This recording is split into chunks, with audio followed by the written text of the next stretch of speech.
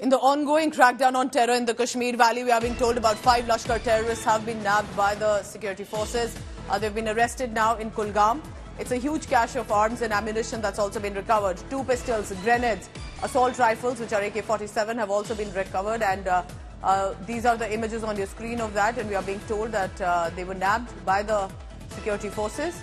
Uh, arrested uh, this time five Lashkar terrorists with cache cache of arms and ammunition. I want to quickly go across to Ashraf Wani for the latest on that in Srinagar.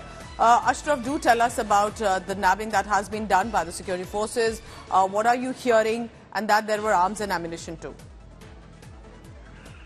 Pooja, after the Kokernag encounter, the Yes. security forces, particularly the Rashtriya Rifles and Jammu and Kashmir Police, has intensified its operations against the overground networks, which uh, are the main source for the uh, terror activities in the Jammu and Kashmir.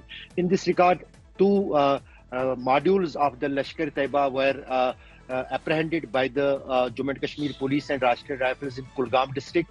Five individuals had been uh, detained and arrested by the Jammu and Kashmir police in Kaimu police station of Kulgam.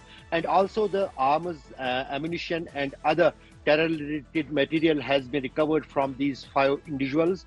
Uh, subsequently, FIR has been registered and uh, the uh, process is going on and the further investigation is underway because these all individuals will be interrogated for their links with the terrorists and the terror activities in the South Kashmir. All right, Ashraf Wani tracking all the latest and correctly pointing out uh, ever since the Anantnag encounter, there has been heightened activity that the security agencies are also up to to ensure all sort of crackdown possible with not only just active terrorists, but those who give shelter, logistics will also be tracked.